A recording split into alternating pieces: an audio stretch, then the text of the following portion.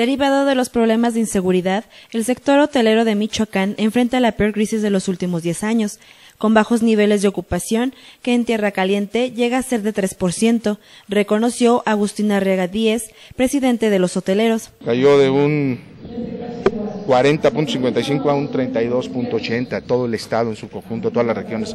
Es una caída de casi 8 puntos, es, es gravísimo. Es la, la, cifra más baja en los últimos 10 años, que tenemos bien registrados. En entrevista, el presidente de la Asociación de Hoteles y Moteles del estado de Michoacán dijo que además de la región de Tierra Caliente, Pátzcuaro también ha presentado problemas en el sector hotelero.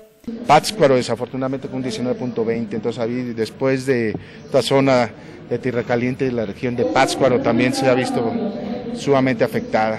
Enero es una de las épocas Morelia más cerró con un 40 40.59 la región de Morelia, que Morelia es año 2012 42 2011 44. Entonces Morelia, igual que todo el estado, pues ha ido para abajo, pero Morelia no se ha sentido tanto. En el marco del arranque de un curso de capacitación para prestadores de servicios, Arrega 10 consideró fundamental que regrese la paz al estado para que este sector pueda recuperarse.